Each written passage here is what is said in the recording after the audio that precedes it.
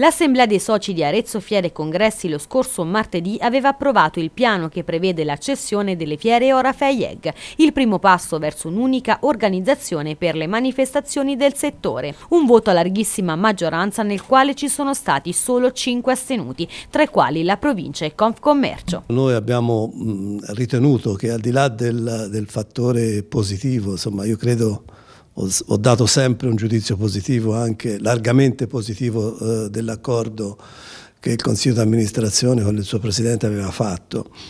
Eh, certo è che avessimo avuto un po' più di tempo a disposizione, eh, avessimo potuto leggere meglio le carte, magari avessimo potuto introdurre anche eh, degli elementi che rafforzavano la posizione eh, diciamo di Arezzo sarebbe stato meglio e probabilmente eh, ci avrebbero messo in condizioni anche di esprimere eh, non l'astensione ma il voto a favore.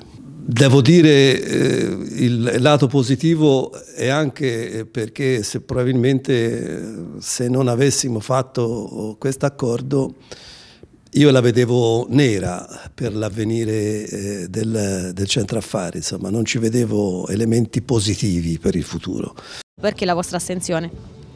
Perché non conosciamo bene il contratto, perché parte da angolazioni diverse di interessi.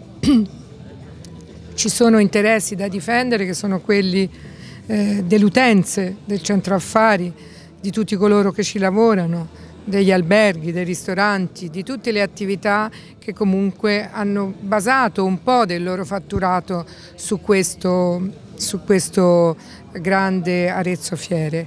E è per loro che abbiamo chiesto con oculatezza eh, informazioni e siamo stati anche eh, pignoli nel cercare di apprendere notizie.